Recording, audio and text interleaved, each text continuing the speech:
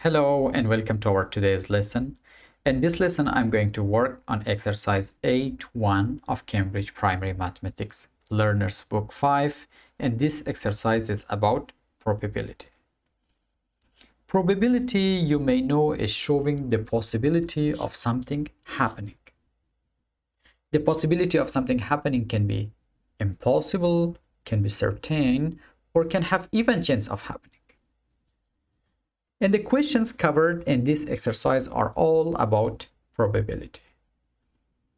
The first question in this exercise says, copy the likelihood scale. As you see, the scale shown here is called the likelihood scale, which is impossible from the left to certain on the right.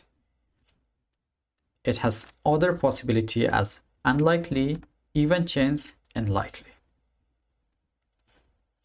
So it says, draw a rows to show the likelihood of the following events happening. The first part, which is part A, says, when you roll a dice, you will get a 3. As you know, a dice has 6 numbers on it, 1 to 6. And getting a 3 is 1 out of 6 possible outcomes when you roll a dice. So getting a 3 when you roll a dice is unlikely because it is 1 out of 6 possible outcomes. So I will label this as A. Part A is unlikely because getting a 3 is unlikely when you roll a dice. In part B it says, when you flip a coin, it will land on tails. You know that a coin has two possible outcomes. It will land on tails or land on heads. So landing on tails is one out of two possible outcomes. So landing on tails, we can say is having even chance. So I will draw the arrow on the even chance and label this as B. Part C says, it will rain today. It will rain today depends in the situation or in the area where you live. You can see the area, it can be cloudy, it can be sunny, or it can be very dark that is nearly raining. And the place that I am now is covered by the cloud. So I will say it is likely to rain. So I will say it is likely to rain. So this one is labeled as C. In part D it says write three statements of your own and add them to the likelihood scale. Writing the statements is much dependent on the context. You can write statements about the situations, about any happenings. So here, I will decide to have a bag of something. Let's say we have a bag of counters. In this bag of counters, we have 10 counters. Let's say 1, 2, 3, 4, 5, 6, 7, 8, 9, 10. We have 10 counters in this bag. And these counters are of different colors. I will say five of them are red. So I will label as R, R, R, R, R. So R shows red. And we will say two of them are white two of them are blue and one of and one of them is green.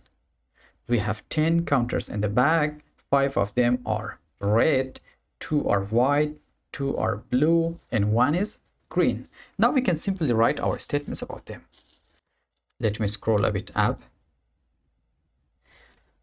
so the first statement that i'm going to write i will say i will I will pick a green counter. Let's say a green counter. I will pick a green counter. Because we don't have the likelihood scale, I will draw one here. I will draw here. Okay. So this one here is impossible. I will write as IMP this one unlikely. Unlikely. This one even chance. I will write as ec even chance. This one is likely. This one is likely and this one is certain. Certain. Now i said i will pick a green counter. How many counters do we have here? Yes we have 10 counters out of 10 counters that is going to be picked how many of them are green only one so is it impossible, unlikely, even chance, likely or certain?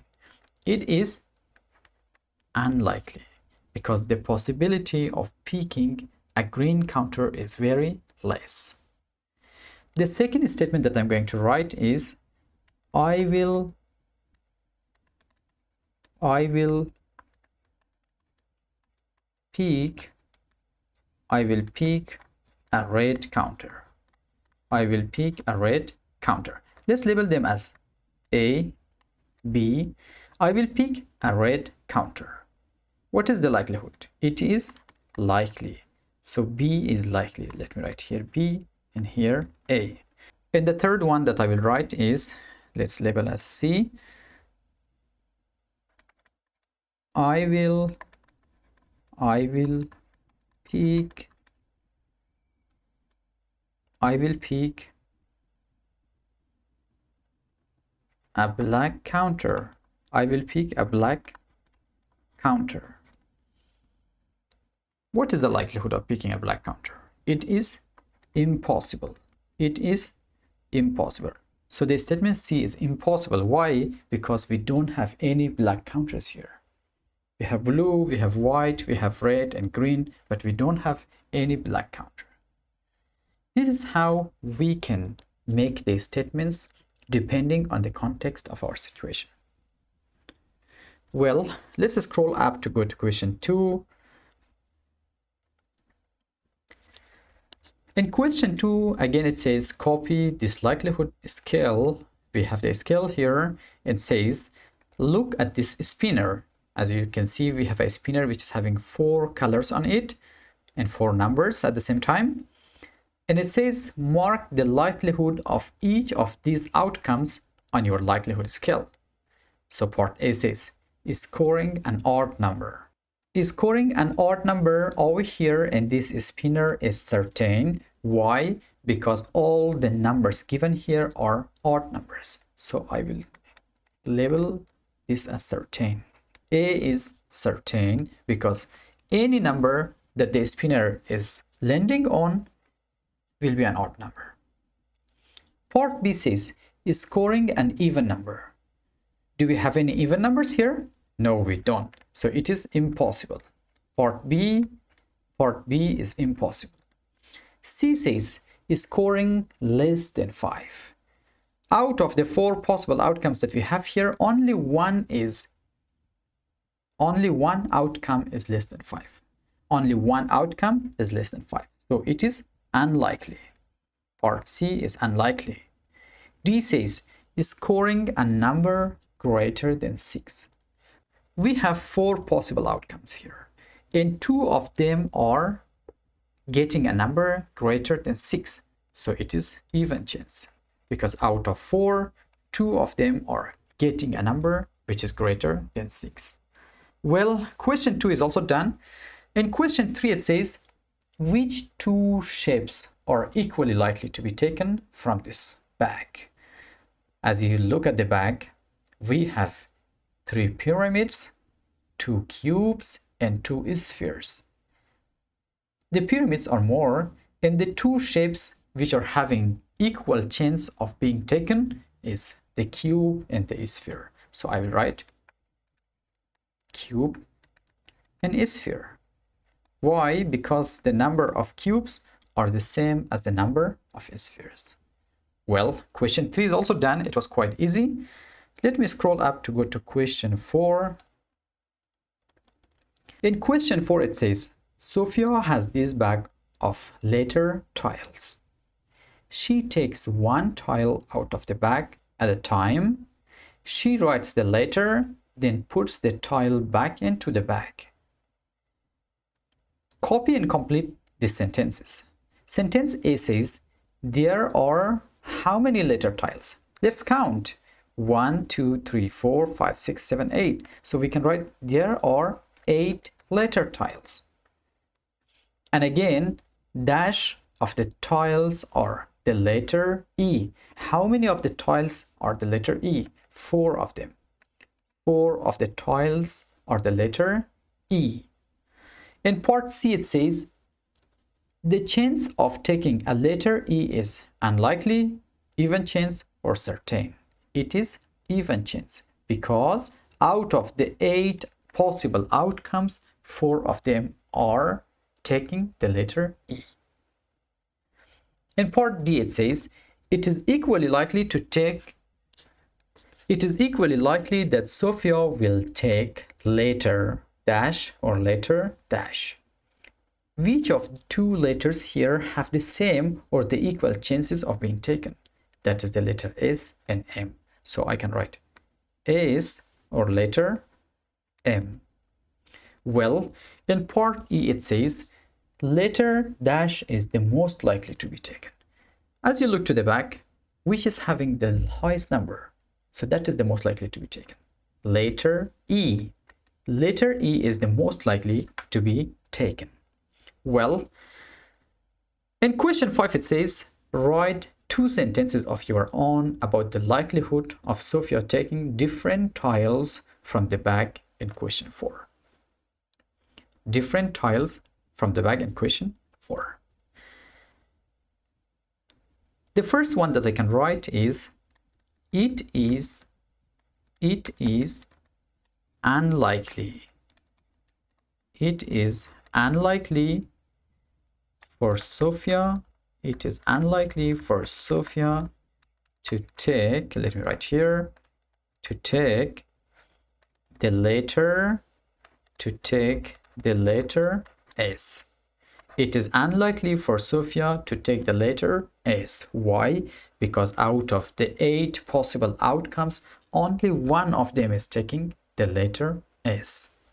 Well, let's scroll up so that we should have enough space for the next statement. The second one that I'm going to write is it is it is impossible. It is impossible for Sophia, it is impossible for Sophia to take to take the letter to take the letter P. It is impossible for Sophia to take the letter P. And you can tell why. Why it's impossible. Because we don't have any letter P in this bag. See, this can also be one of the possibilities. So with question 5, we are done with all the questions of exercise 8.1 of Cambridge Primary Mathematics Learners Book 5. I hope it helps you learn how to solve the questions related to probability. Please make sure to subscribe to my channel, like the video and share the video with your friends, your classmates and your students if you're a teacher. Have a nice time and thank you so much.